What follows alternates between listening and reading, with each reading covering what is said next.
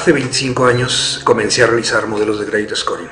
Usaba la regresión logística. Cinco años después empecé a leer sobre redes neuronales y tras mucho trabajo construí mi primer modelo de credit rating usando redes neuronales con una capa oculta y tres neuronas. Lo desarrollé en SAS Enterprise Miner y lo mostré de hecho en un evento de SAS eh, internacional en la ciudad de Orlando, Florida había conseguido un 90% de rock sobre un 81% de una regresión logística que teníamos anteriormente donde trabajaba. Acto seguido lo expuse en el trabajo y recibí comentarios como usar redes neuronales es como de ciencia ficción, el overfitting o sobreajuste no es recomendable, es una caja negra. La verdad que no os negaré que me frustró un poco, pero me lo decían expertos que habían creado modelos muy buenos y había que hacerles caso definitivamente. Transcurrieron 10 años cuando surgió el boom del Machine Learning.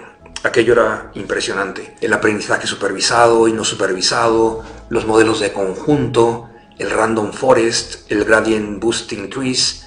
No obstante, eh, bueno, pues yo solamente sabía programar en SAS y un poquito de SPSS. Y veía que había muchísima gente programando ya en R, así que bueno, me puse mano a la obra y aprendí R y empezamos a crear modelos de credit score. Más adelante, eh, bueno, empezó a surgir Python y tomó mucho más fuerza que R y bueno, pues me di la tarea de aprender Python. Mi pobre ordenador tenía SAS, Python y R simultáneamente abiertos. Eh, lo que os digo es, cierto, en pleno curso me salió el fatídico blue screen o el pantallazo azul, eh, me arruinó uno o más ordenadores realmente el usar el Machine Learning con, estas, eh, con estos tres programas sensacionales que es el SAS, el Python y el R. Había gente que me decía, oye, eh, ¿por qué no usas mejor un GPU más potente? Es decir, entonces entré bueno, a, lo que eran los GPUs. El GPU, como sabéis, eh, puede realizar mucho más tareas o tareas mucho más rápidas que el propio CPU.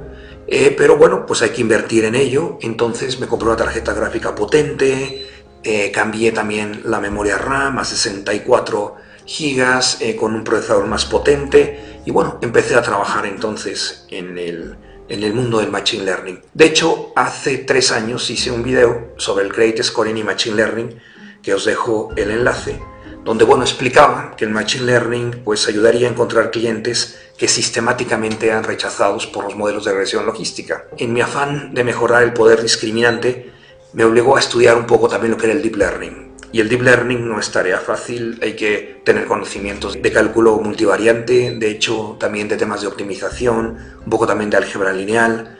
Eh, bueno, todo ello es importante para poder comprender bien eh, lo que sería el Deep Learning.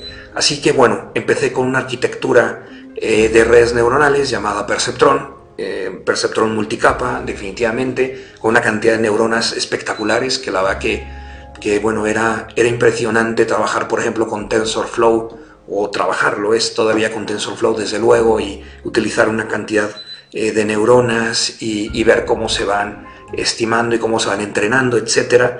Pero eh, fijaos que no mejoraba mucho el poder discriminante sobre los modelos de conjunto, ¿no? sobre aquel random forest y demás. Así que, bueno, eh, empezamos a trabajar y terminamos un curso llamado Create Scoring, inteligencia artificial, machine learning, deep learning y calibración del APD, donde bueno, hemos aprendido a utilizar otra serie de arquitecturas de redes neuronales más avanzadas, más modernas, como las redes neuronales convolucionadas y recurrentes, que se utilizan bueno, con otros fines, es decir, con el fin del reconocimiento de imágenes, en el caso de las convolucionadas. Y bueno, pues fijaos que mejoraron notablemente poder discriminante sobre otros modelos tan potentes del mundo de Machine Learning como los modelos de conjunto. Eh, obtuvimos realmente eh, un alto poder discriminante en el modelo, obviamente el modelo clasifica mejor y también eh, a la larga reduce la morosidad. Obviamente siempre hay que cuidar el talón de Aquiles de los modelos de, de Machine Learning, que sería el overfitting, que este bueno, puede mitigarse con pruebas de validación es decir, con el cross-validation. Eh, se puede utilizar una serie también de pruebas adicionales tipo bootstrapping, jackknife, etcétera, para poder validar que el modelo esté, esté correcto. Pero eh, la validación no es la única solución. Hoy en día es mucho más complejo el tema de los modelos y por tanto debemos de tener una gestión y cuantificación del riesgo de modelo. Entonces es imprescindible esto para los bancos para que se puedan obtener eh, resultados adecuados con los modelos que se están trabajando. También es importante eh, trabajar sobre la desmitificación de que los modelos, por ejemplo, de Deep Learning son cajas negras. Eh, es, es, difícil encontrar alguna solución que pueda explicar que no es una caja negra y que comprender realmente lo que hay por detrás y estas matemáticas avanzadas que, que desde luego hay, pero también ya hay una, una cantidad de soluciones que, que evitan ya eh, que sea esto una caja negra, ¿no? Por ejemplo, el poder encontrar cuál es el peso de cada variable y cómo influye cada variable en el modelo, bueno, pues eso es una solución importante. Bueno, de cara al futuro, en esta era, eh, bueno, pues dramática eh, del post-COVID-19, se habla que los modelos de credit scoring empezaron a fallar, ¿vale? Desde el Bureau Score, el Application Score, que serían los scores de admisión, también el Behavior Score, que sería el score eh, también de comportamiento y el collection score. Estos modelos eh, seguramente van a tener que ser recalibrados o reconstruidos y además eh, habrá que añadir nuevas variables, es algo que, se prevé. Yo creo, desde mi punto de vista, que la tendencia debería ser utilizar ya información transaccional, es decir, ya empezar a emplear información con alta frecuencia, ¿no? es decir, eh, los pagos eh, que haga una persona en algún momento dado, el patrón de compras, todo eso va a ser ya un tema importante y aquí la inteligencia artificial pues tendría que ser empleada.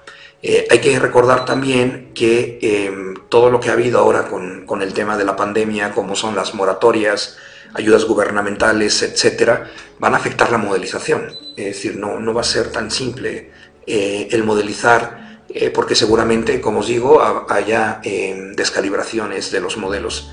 Otro tema fundamental, la asignación del punto de corte. Esta, bueno, yo creo que va a tener que ser dinámica y para ello eh, se puede utilizar inteligencia artificial.